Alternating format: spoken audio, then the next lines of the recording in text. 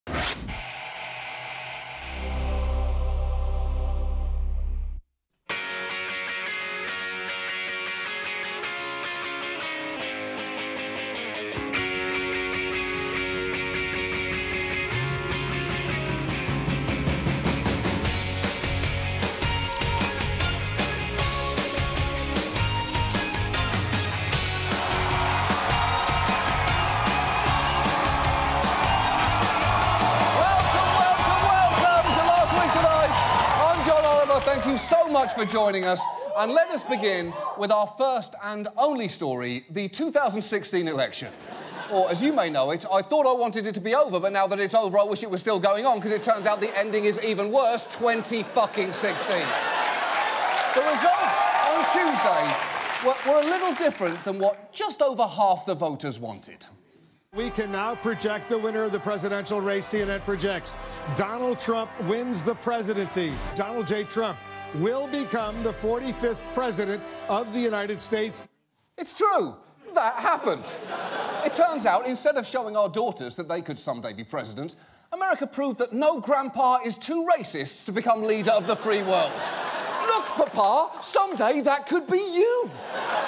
Now, if you're like me, the implications of this have been hitting you in waves. One minute you're numb, and the next minute you realise that Donald Trump, this man, will soon have access to the nuclear codes. And then maybe you get distracted by daily life until it hits you again. Oh, our future president was supported by a former Grand Wizard of the Klan, and 60 million people voted for him despite that. And then maybe you finally manage to get some sleep, but then you wake up realising, oh shit, the Supreme Court. Because remember Merrick Garland? Who the Republicans have refused to confirm all year. You know, the guy whom we asked you to choose a Supreme Court dog for. Uh, you, you actually picked this one, by the way. Uh, we, we, never announced it because uh, we figured that we would tell you when he was confirmed. Well, he's not getting confirmed, and that dog is dead now. Uh, no, actually, not really. She, she, she is fine, but she's not getting on the court.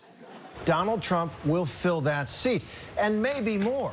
Uh, Ruth Bader Ginsburg is in her 80s. Uh, Anthony Kennedy is is over 80, and there are other justices who've talked, bandied about the idea of of retiring. Bottom line, Donald Trump is going to shape the Supreme Court for decades to come. Wow. That is one of those phrases you just assumed you would never have to hear. Like Vanilla Ice is picking up his Nobel Prize in physics. or Henry Kissinger just came out with a line of skinny jeans. They go with everything. Now, it has been wave after wave of nausea all week. I woke up on Thursday feeling fractionally better, but then I turned on the TV and saw Trump in the Oval Office with President Obama. And just look at the president's face there. He cannot believe what he's looking at either. In fact, just listen to the actual audio in that room.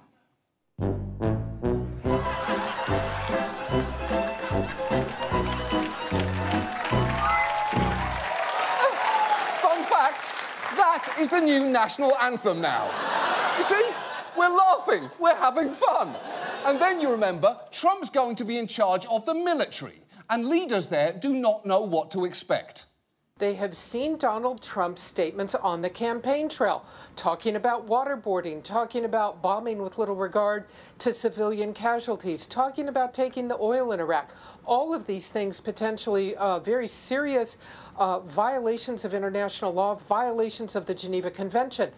Yes, our president elect has at various times said he'd bomb civilians, loot oil, and waterboard, which isn't a military strategy so much as the series of words that Donald Rumsfeld mutters so he can stay hard while he's masturbating. and, and look, look, Trump won this election. By which I mean he won the Electoral College, which, for reasons I will never understand, no matter how many times it's explained to me, is how things are done. And many people it's important to remember many people are happy to see him in office. Some are voters who think he'll bring jobs back and shake up Washington. Uh, others are happy simply because he isn't Hillary Clinton. Uh, and others, of course, are Vladimir Putin and Scott Baio. But for the rest of us, we are faced with these same questions as a guy that woke up the day after a Vegas bachelor party, deep in the desert, naked, tied to a cactus and a dead clown. Namely, how the fuck did we get here, and what the fuck do we do now? Because Donald Trump will be president. And respecting democracy means accepting that. Although there is one sentiment that I would argue takes that a little too far. The man hasn't even been a president for a day yet, all right? Let's give him a chance to be the president. Give Donald Trump a chance. We now have to give him a chance and see how he's going to govern. The American people should give him a chance to govern because if he succeeds, we succeed.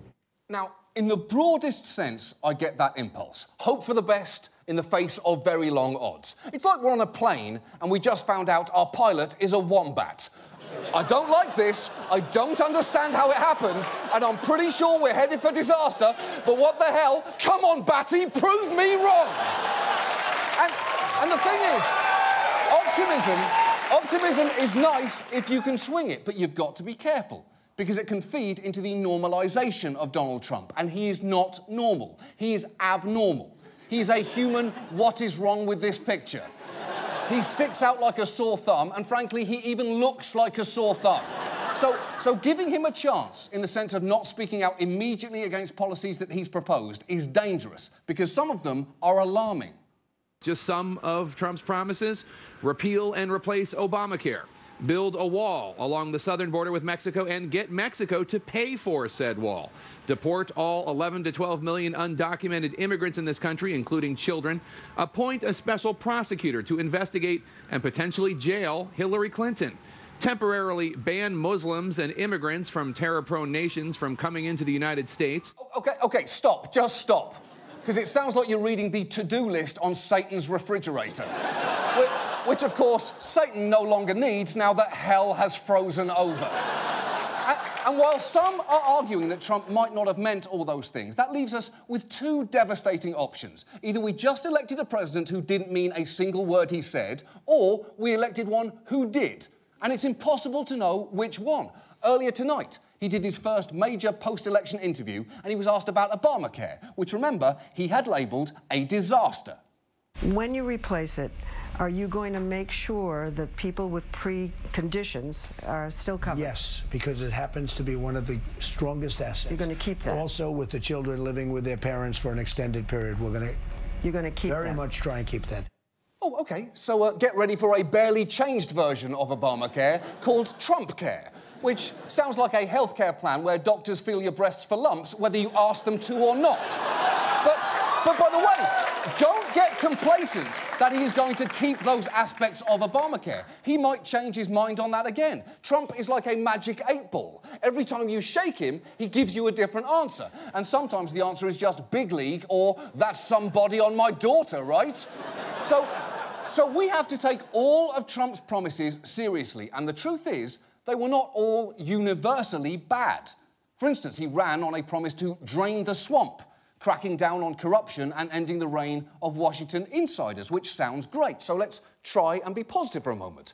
What are the early signs on that? Some of the potential cabinet members that are being reported by CNN that are under consideration Rudy Giuliani, Newt Gingrich, Chris Christie, Reince Priebus. Right, so that's the longtime head of the RNC, a former Speaker who entered Congress in 1979, a former mayor turned professional asshole, and a man whose name is more synonymous with scandal than Shonda fucking Rhimes. That is so swampy, you're going to need to swap out Air Force One for one of those shallow bottom boats with a big fan on the back. And the thing is, it actually makes sense for Trump to appoint people with significant experience in government. Until a few days ago, the highest office he'd ever held was on the 26th floor of a shitty building on Fifth Avenue. but some of the people he's bringing in are horrifying. His transition team includes people like Ken Blackwell, who has argued that homosexuality is a choice.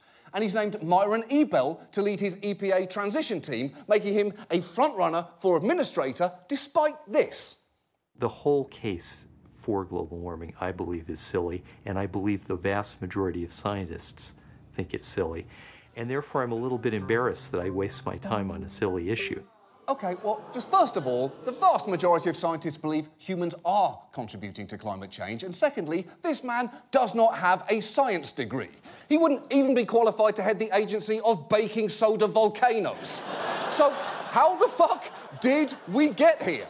Well, clearly, there are many possible answers to that question, uh, including uh, misleading forecasts that bred complacency, uh, a flawed candidate who failed to appeal to white, rural, and working class voters, and, and this is worth repeating, deep racism and or indifference to it. And for those, including us, who were shocked by Tuesday, we're going to be examining all of this for years. But for tonight, let, us look at just one narrow element that may have helped bring us here because it will be important going forward, and that is our media. Specifically, how a system that is supposed to catch a serial liar failed. And I'm not just referring to mainstream TV news, although some did wait far too long to take Trump seriously, giving him billions of dollars worth of free media. Uh, CNN, for instance, sometimes ran his speeches almost in their entirety. And their president, Jeff Zucker, now admits that might not have been such a great idea. I'd say that if we made a mistake last year, it's that uh, we probably did put on too many of his uh, campaign rallies in the in those early months, uh, un you know unedited and, and just let them run. And I think in hindsight, we probably shouldn't have done that as much. Yeah, it turns out hindsight, much like the year we're all now desperately looking forward to, is 2020. and, and that, is, that is not to say that there wasn't some great coverage of Trump in this election from outlets like the Washington Post and the New York Times. Even CNN eventually pivoted and began correcting Trump in lower third graphics, such as Trump, I never said Japan should have nukes, parentheses, he did. And that is good journalism. If I gave a speech saying I'm the sexiest man alive, it would be fair to tag that with parentheses, look at him. now, the, that's, that's a mean joke to laugh at, but the problem is, the problem is, the impact of corrections like that, which may have sunk a candidate in another era, was compromised because there is no longer a consensus on what a fact is. Trust in mainstream media outlets has been falling, and people can choose to get their news from echo chambers that validate their views. And there is nothing inherently wrong with media that has a viewpoint. This show has a viewpoint. We fact check everything we say, but I don't pretend to be neutral on things like criminal justice reform. I'm for it. Uh, Coldplay, I'm against it. Uh, or DeWalt's ladders. They're a seamless blend of style and performance. Walking up one is like ascending to heaven on a golden cloud. I'm not being paid to say that. I'm just a fan. but a healthy media diet has to be broader than that. And unfortunately, the way that many of us consume news now is micro targeted. The majority of Americans, 62%, say they get their news from social media. According to Pew Research, 44% of all adults say they get news specifically from Facebook. That's true. News is now one of the three things that we get from social media, the other two being our entire sense of self worth and pictures of shaved alpacas. and, and fake facts circulate on social media to a frightening extent. You may have seen this quote from Donald Trump online about Republicans being dumb. He never said that. It's not true. Just as it's not true that the Pope endorsed Trump, because of course he didn't. But that story was shared almost a million times, which is absurd. Everybody knows the candidate the Pope endorsed was Joe Exotic. They have very similar views on deregulating tiger preserves. Please share this news a million times. But there is now a whole cottage industry specialising in hyper-partisan, sometimes wildly distorted clickbait. Uh, BuzzFeed News researched sites like Addicting Info on the left and uh, Freedom Daily on the right, both of which have over a million followers on Facebook, putting them in the same range as Anderson Cooper 360, and found that some of them were publishing many viral articles containing flat-out falsehoods. Over two weeks, 38% of news on some Republican-leaning Facebook pages was partly or completely false, compared to 19% of news shared on some Democrat leaning Facebook pages. Yeah, and before you say, well, Republicans are twice as bad, 19% is still terrible. And it is not news that there is misinformation on Facebook. Just look at the relationship status, it's complicated. the accurate version of that would clearly be in three weeks I'll be single, but I can't admit it yet. but these sites can warp your views pretty fast. Your newsfeed may have been full of the Times and the Post stories about Donald Trump's actual scandals, but many Americans logged onto Facebook every day and saw shit like this. And this cesspool of nonsense would be a problem anyway, were it not for the fact that one of the people enthralled to it is our future president. Back in March, he claimed that a man who had rushed the stage at one of his rallies had ties to ISIS, something that had circulated online and had been found to be untrue. And when that was pointed out to him, this was his response.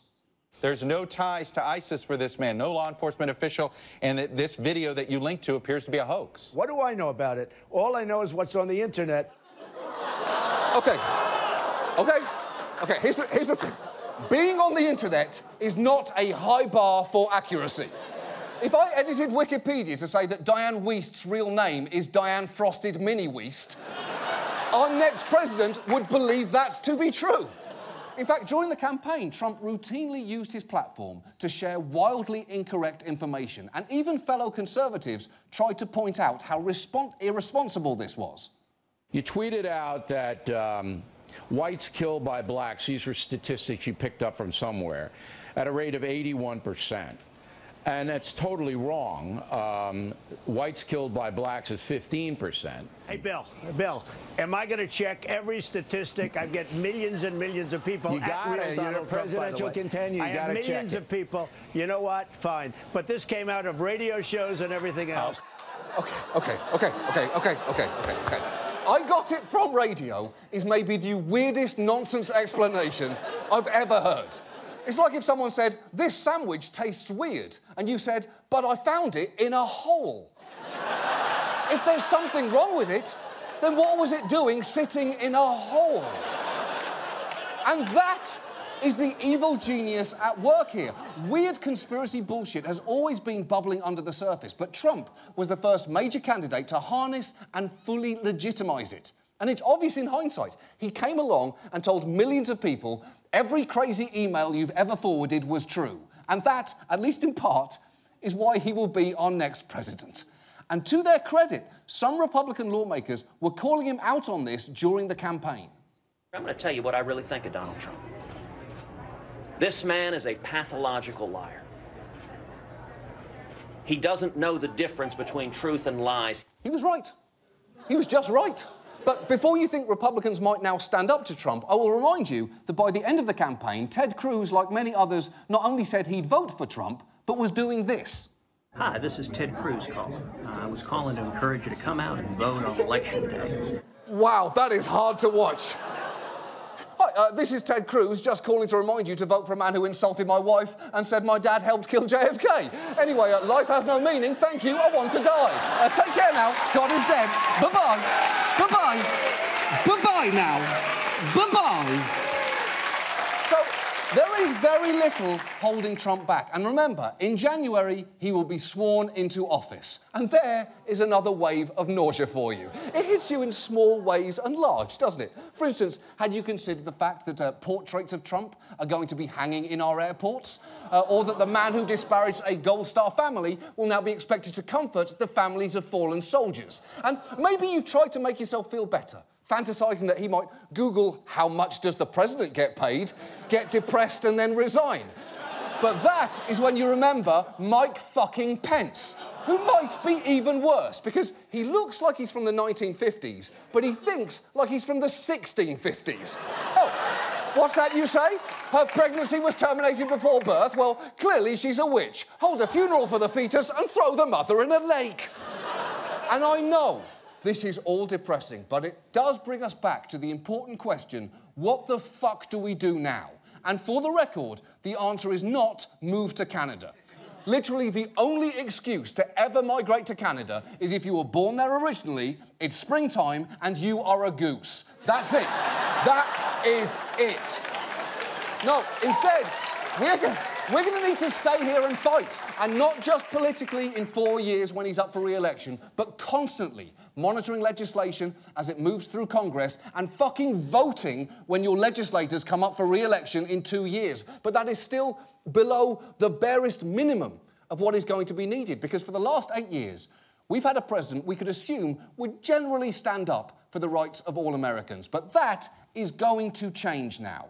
So we're going to have to actively stand up for one another. And it can't be just sounding off on the internet or sharing think pieces or videos like this one that echo around your bubble. I'm talking about actual sacrifice to support people who are now under threat. So, if you can afford the time or money, support organisations that are going to need help under a Trump administration. Uh, for instance, if you're concerned about women's health, donate to Planned Parenthood or the Centre for Reproductive Rights. Uh, if you don't believe man made global warming is a silly issue, uh, donate to the National uh, Resources Defence Council. If you don't think refugees are a terrorist army in disguise, donate to the International Refugee Assistance Project. Oh, and uh, also, given these guys' track record, I would also recommend donations to the NAACP Legal Defence Fund, the Trevor Project for LGBTQ Youth, and the Mexican American Legal Defence and Educational Fund. Because that last one would be perfect if your compassion for Latinos goes beyond, say, I don't know, occasionally eating a fucking taco bowl. And, and do check the box for recurring donations if you can, because this is not a short-term problem.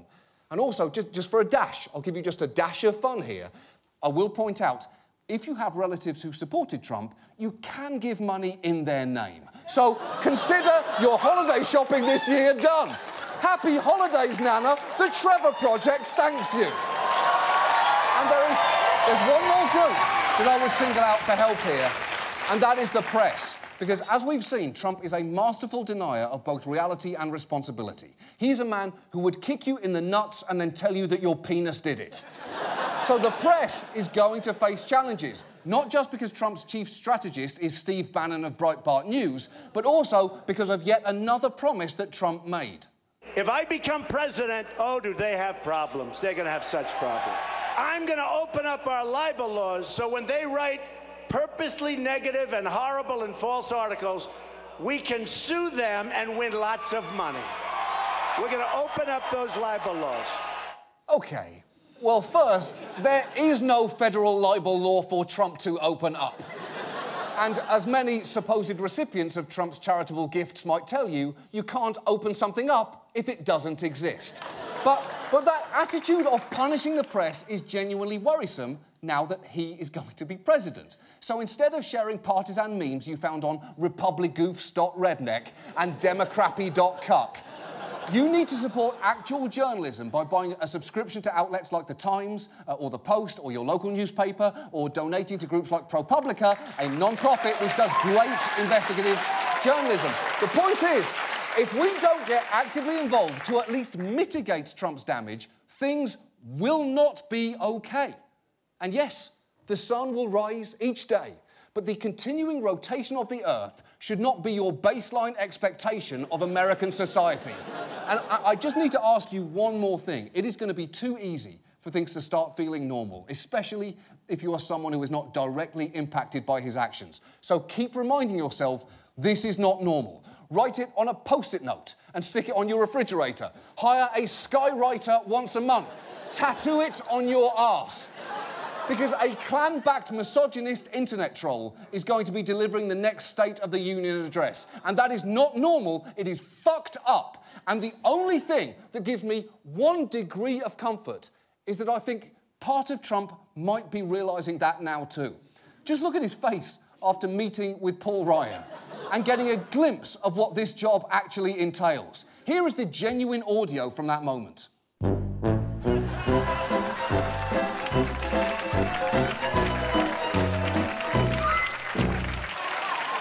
Feel the same. Look, I don't know what happens from here. And this is actually our final show of the year. And normally on our last show, uh, we mash up elements from the season and we dance around in the studio. But that doesn't really seem appropriate tonight. Not just because of the election, but because 2016 has been an uncommonly shitty year. From the ongoing crisis in Syria to Zika uh, to Ryan Lochte being a douche to a seemingly endless string of celebrity deaths, including just this week, Leonard Cohen. So we've put something together about how awful this year has been. We started it a little while ago, but it now feels more prescient than ever. Because even though this year still has seven weeks left, I'm calling it early. 2016 has been the fucking worst. so thank you for watching, and please enjoy this tribute to a truly terrible year. Let's face it, 2016 has been one calamity after another. And while it will be remembered for the giant calamity we all just witnessed, we shouldn't lose sight of the other multiple ways this has been a shitty year. If we could erase 2016 off the calendar, it'd be perfectly good with me. Pretty rotten year. I think most people would, would admit that. It totally blew. It was awful. This world is feeling scarier. It's feeling a little colder. For EU, it was a really crap year. The whole Brexit was kind of a mess. Just a lot of like hatred to a lot of groups. I think I think that's like been the staple of this year. Syrian refugee crisis, pretty terrible. Lots of uh, sexism being very blatant. I think it's absolutely disgusting what the city of Flint did to, to its residents. The New York Jets suck. The Yankees missed the playoffs. I didn't like Kevin Durant going to um going to Golden State. that was a chicken shit move. Some asshole stole my watch in Miami. I got broken up with. That was pretty shitty. I had a girlfriend for three and a half years. She broke up with me about two months ago. My landlord is a piece of shit. I met Bruce Willis here like a week ago and I asked him for a picture and he said no, so that made me feel bad. My son is hitting puberty and he's being a real pain in the ass. I got um all molded by a dog on my birthday, so that was like the cherry on top of like a shitty year. Menopause. Never forget Harambe. Harambe's out there listening. He took shots for us. We should take shots for him. Too many deaths. Prince. Prince is my man. I miss Prince. Prince, I mean, that was just I think the worst is the David Bowie's death. David Bowie. What the fuck? Bowie? That was my big one. Phife Dawg, man. Come on, man. Shout out to, to Q-Tip, man. Tribe Called Quest. I grew up on that. Muhammad Ali, that was one of the biggest. What he represents for black people in America, that's a huge deal for me. Move like a butterfly, sting like a bee. Oh God, Gene Wilder. Alan Rickman. Fucking Snape, dude. Oh, yeah, yeah. Yeah. This year did suck. Fuck 2016. Fuck you, 2016. Fuck you, 2016. Fuck 2016. Fuck you, 2016. Bad year. Shit year. 2016. This is for you. Fuck 2016. Fuck it a lot. Fuck 2016. And fuck Donald Trump. Fuck 2016. CNN will let me say this on New Year's Eve, but get fucked 2016. Fuck 2016. Vai se fuder 2016. What is this, mayonnaise? Fuck 2016. Fuck you, 2016. Fuck you, 2016! 2016, fuck off. 2016 falls well below my standards of quality. Fuck 2016. Fuck you, 2016. Hey, 2016. Go punch yourself in the dick. Fuck this year. Fuck you, 2016. Fuck you, 2016. Fuck you, John Oliver. Hey, 2016, fuck you. And hey, 2017, fuck you too. I hate you already. Fuck you, 2016.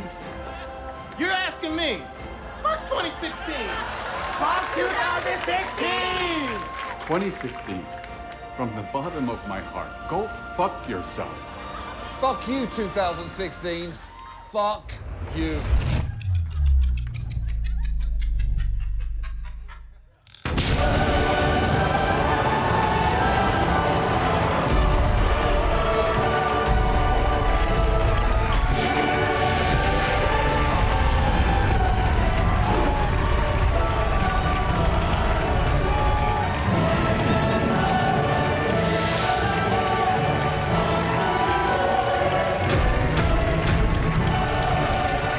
That's our show. Thanks so much for watching. Let's all try harder next year. Good night.